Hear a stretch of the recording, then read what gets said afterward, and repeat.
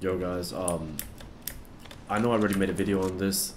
It's basically that the new Fortnite season is coming, but um, it's actually getting really close now. It's like a massive um, red storm. You can see the boat right there, as you can see. There's a boat with like some red lights on it. Um, you still can't go anywhere near it. Oh fuck! Go to the launch pad.